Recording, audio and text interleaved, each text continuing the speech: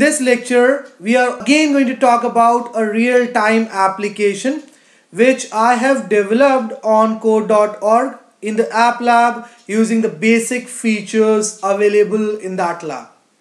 So this is the first screen the user is going to come across when he will access the app on his mobile phone or on his device. Fine. Now currently I am accessing this app on five different devices or you can say five different browsers. Fine. Now each of these browsers you have to assume as if they are uh, you know different devices on which I'm accessing this beautiful app. With this app a person can broadcast his message in the form of speech to the different people. Now how he can do that? That's what I would like to show you first. So for doing that, first thing we are going to do is we are going to create five different profiles on uh, these five different devices which I just showed you. Okay, so this one is the first device on which I'm going to create the first profile. So let's select a photograph from the desktop. I'm going to choose this one for now. And let's uh, write down a name over here. So I am making use of Sushant, this name, and then Sushant This is the ID with which I am registering Sushant's profile and Sushant123 is the password I'm giving.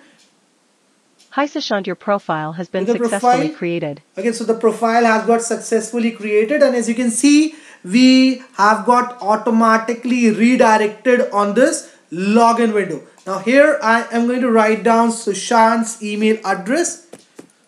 Sushant at the rate gmail.com and here I am going to write down the password with which I created his profile so this is the one let's start the if suppose um, let's enter an incorrect password and see whether I'll be able to log in into the app or not invalid credentials entered by you so it is in an error which is getting reflected over here let's enter the right credentials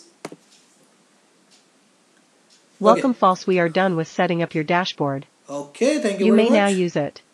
So this is Sushant's panel which he got he can make use of for uh, you know broadcasting a message. Now uh, let's come on this second device and create another profile. You may now use it. Okay, so as you can see Nivi's uh, dashboard is here on the second device. Let's now come on this third device and create Third profile. Welcome false we are done with setting up your dashboard. So we are done you may with, now use it. So we are done with uh, creating three different profiles on this platform. Let's now come on this fourth browser and create the fourth required profile. Welcome false we are done with setting up your dashboard. Okay, so we are done you with may now use it. creating the fourth profile also. Let's now come on this fifth browser and quickly create the fifth profile. Welcome false we are done with setting up your dashboard. Okay, so we you are now use it. We are done with creating five different profiles on this platform. So this is Sushant's dashboard. This one is Abhay's, Abhay's dashboard. This one is Shyam's dashboard. Uh, this one is Nivi's dashboard she'll be using for broadcasting the message. Then this one is Mickey's dashboard. Fine. Let's now come on this Sushant's dashboard first. And here when you'll hit this first drop down which is uh, right there on the top. So what is going to happen? Let's check it out. To see the IDs of all the people who have registered their profiles on this platform. So uh, right now we uh, there are four IDs which are getting reflected over here just because besides Sushant there are four other people who have registered their profiles with these IDs, right? Now let's select uh, two of these four IDs and see what is going to happen. So when you will uh, hit this Abhay's ID, automatically you will get to see it over here when you'll hit this drop down so see Abhay's ID has got added into this drop down likewise if suppose Sushant would like to uh, add Mickey's ID also so he just have to hit this ID of Mickey and automatically when he will hit this drop down over here he will be able to see both the IDs getting reflected in this second drop down. Fine so that's how he can add the IDs of the people he would like to broadcast a message to. Okay now let's come on this part how he can broadcast a message to these two people so what he can do he can write down uh, the required message he would like to broadcast over here in this input box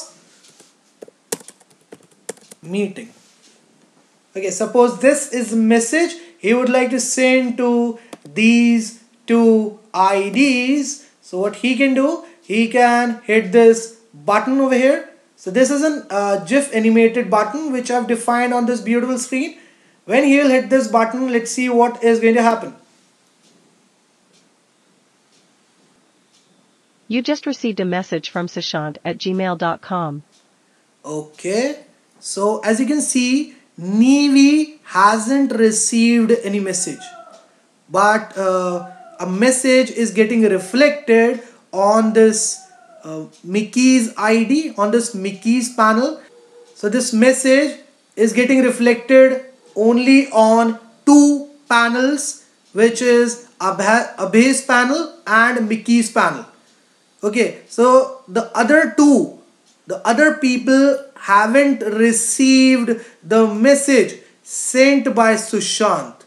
Okay, broadcasted by Sushant. Fine, now how Abhay can read the message sent by Sushant. So what he has to do, he just have to hit this message, uh, this letter kind of thing which is getting reflected over here on his panel. Hi all, how are you? So this is how was the meat and egg? So this is how they both can uh, check out the message sent by Sushant. Now let's see whether we have received the messages on the dashboard of the other two profiles or not. So if you'll come on this Shyam's dashboard, so he hasn't received any message. And then if you'll come on this Nivi's dashboard, here also no message is getting reflected. Now let's come on this Nivi's panel and let's set this first drop down. So as you can see you may select all the IDs from this drop down to whom you would like to send the message. Okay so this has got updated with the IDs of all the other uh, four profiles which we just created. Fine. Now let's come on this second drop down and let's hit this drop down and see what is going to happen.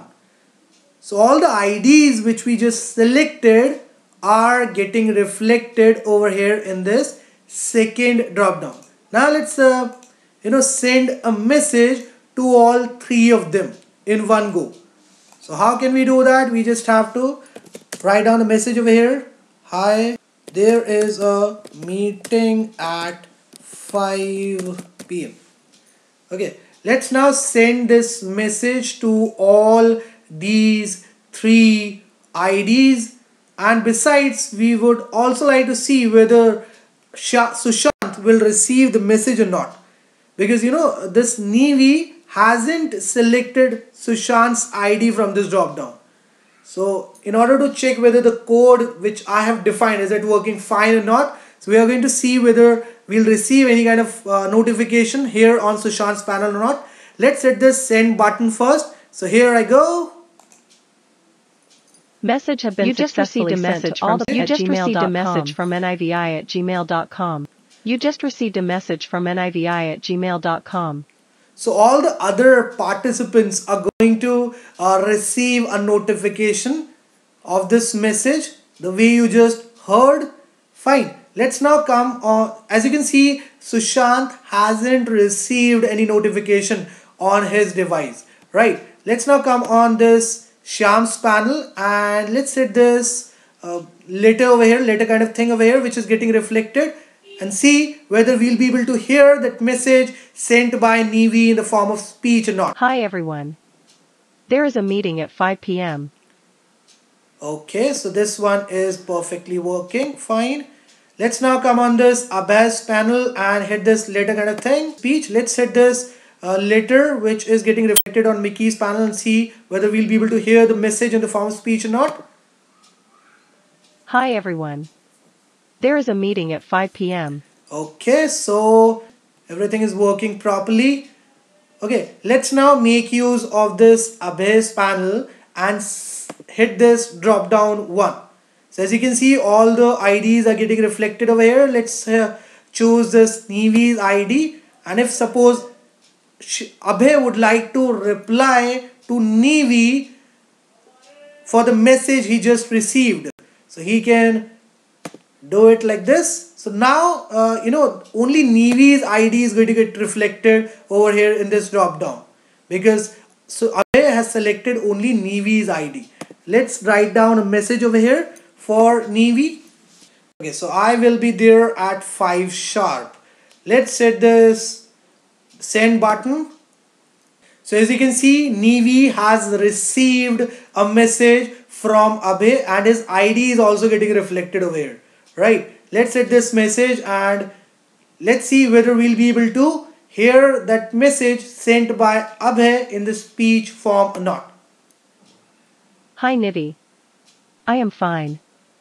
I will be there at 5 o'clock sharp. Okay, so you know that's how this app works. Now let me show you guys the code which I have defined in the workspace on code.org for making this beautiful app.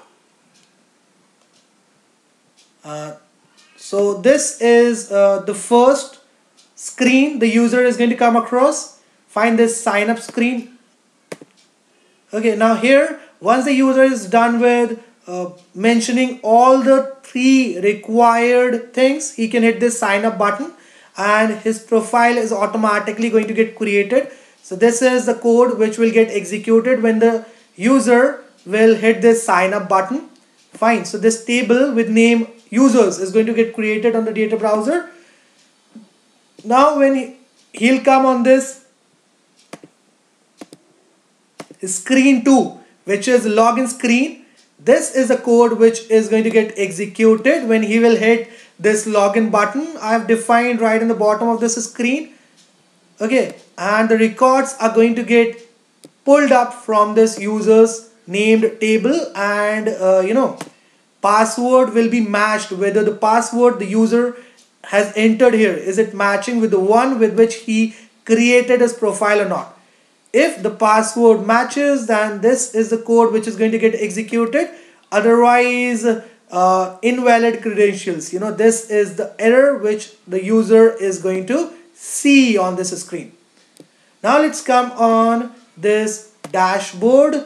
So once the user is done with signing into this app, he is going to come on this beautiful screen where he'll get to see his profile pic over here and his name is going to get reflected over here with which he created his profile.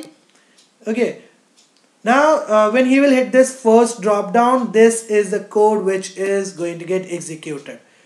So, all the IDs of all the other people are going to get pulled up from the table named users and all the IDs he will be able to see in this first drop down. Okay, now uh, whatever ID he will select, automatically it will get appended in a list or you can see a collection type of variable. And then when he will hit this drop down one he will be able to pull all the items which he has appended in this uh, list 2 which I just uh, showed you guys and all the IDs are going to get reflected over here in this drop down one. Fine. Now uh, what is going to happen when the user will hit this exist button? Where is this exist button? That's what I would like to show you first. So you know uh, there are two buttons which I have defined over here. One on this one on this login screen and the second one on this sign up screen. So if he if his if he is an existing user so he can hit this button and he is going to get redirected on this screen too. If the user is new on this platform and he would like to create his uh, you know profile on this platform so he can hit this button. And this is a code which is going to get executed okay let's now come on this code which I've defined for this send button which you're uh, seeing over here. So uh, a table with ID message is going to get created where all the information the message the receiver's name and the sender's name is going to get saved. Fine. And finally this is the code which is going to get executed automatically in real time. And uh, the other participants whom this sender will the IDs of which the sender is going to select from this first drop down. They are going to see the changes happening on their respective dashboard in real time.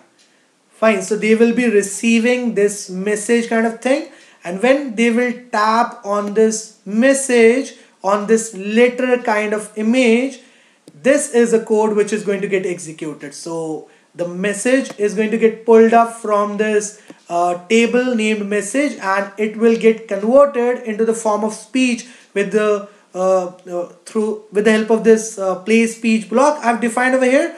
And finally the user will be able to hear that message in the form of speech. So you know that's how I have created this beautiful beautiful app. Hope you guys enjoyed this lecture a lot do like and subscribe to my channel and also do join the online coding classes which I am providing you guys in just rupees 500 in case you want to know something extra if you want to understand the coding of this JavaScript based platform. Thank you very much. God bless you all. Have a great day. Bye bye.